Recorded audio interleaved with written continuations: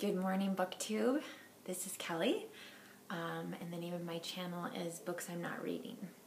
And the video I'm making today about Catcher in the Rye is one of the videos that I wanted to make um, from the very beginning. Like it was one of the, my first ideas for a video.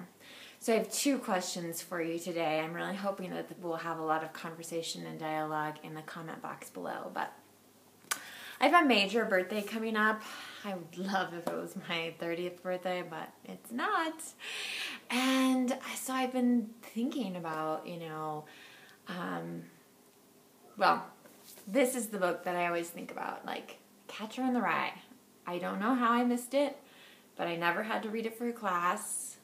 Uh, I never, yeah, it's never required reading, and even though it's on every summer reading table, a book table across the you know country right now. I i never picked it up. I just never did.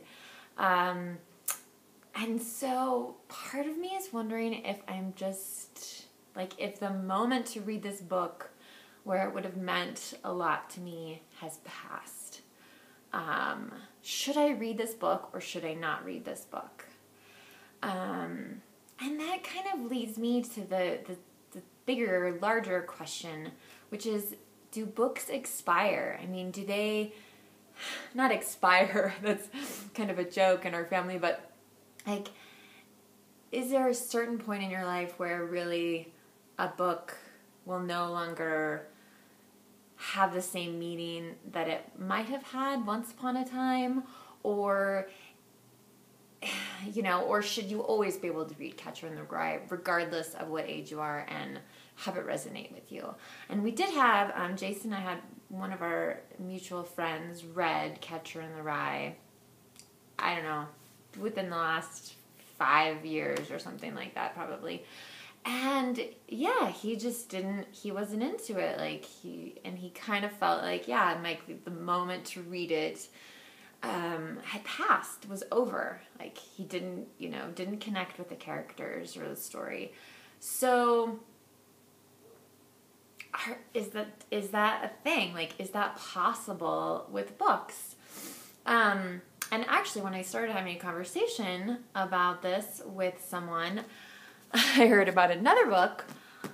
this one's a door stopper uh, The Golden Notebook by Doris Lessing. And that a lot of people had said, like, no, this was like the formative book and also a book that, you know, there's like a window of time to read it in. I have a hard time believing with this one that there's a, a specific window of time, but I could be wrong. I haven't read it. It sounds great. Um, but on the same token, there are a couple books. Um, I do read children's books and YA um, and so within the last, again, several years, there have been a couple books that I've read. Again, I don't know how I missed The Hobbit growing up, especially because my mom uh, definitely had a science fiction and fantasy phase. And uh, so I don't know why the, I don't know if this book was around and I just missed it. I'm sorry. I should get closer. This is, of course, Jason's super beautiful fancy edition of The Hobbit. But I read The Hobbit as an adult and I was just like, what's the big deal? Like, the most interesting character is the dragon. And if you've read it, you know he's not in the book for a terribly long time, which sucked. I was so disappointed. I loved the dragon. Um, so I was kind of like, what's the big deal? On the same token, though, I mean, could make this the argument about this, about Harry Potter. And in truth, I did not read, I did not start reading these until college. I know there are many young booktubers out there who this will have been, you know, a turning point for them, or maybe the Twilight series where they really just suddenly started reading everything. Um, and I, I don't think, yeah, I'm not sure, like, how, um, I, I don't know. Anyway, so yeah, I love these. I mean, I I have read them frequently. Um, I love the movies. And so, yeah, like, I mean, we can talk about Harry Potter another time, but, anyway, so it's not just it's not a YA thing, right? I mean, because I can still read these as an adult and get a, a tremendous amount of enjoyment out of it. Another book, and I tried to check this out from the library yesterday, but because it's summer reading, there's not a copy to be found anywhere.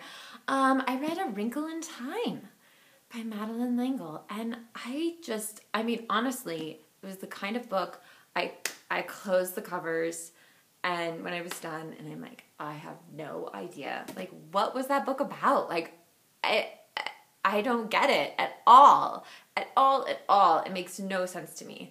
Um, so maybe some of you can clear that up. But again, the big question is like, you know, this one, like, seems like a classic, and Salinger is sort of a fascinating author. I, I am really curious. Jason and I keep waiting for like a moment where there's to be all the Salinger published that, you know, he's been that he had written in the um, uh, last half of his life, and and uh, just been waiting for waiting for the right moment for it to come out. Like that would be really cool, but it, this does seem to me like an important book, and there is a certain amount of book guilt too, like to not be able to say like, oh, I have I haven't read The Catcher in the Rye, but yeah. So I just am like, am I gonna like it? Am I gonna? Is it worth it? Is it worth the time? And I realize it's a pretty slim book. Hey, kitty! I got a kitty cat in my uh, at my feet. So my question to you is: A, should I read this? Do you think I would still enjoy it and appreciate it and value it as a piece of literature and the story and characters, that kind of thing? And do you think like do you think that there is a moment where yeah, like should we be able to read a book at any point in our life and have it still be valuable? There's the cat in the back.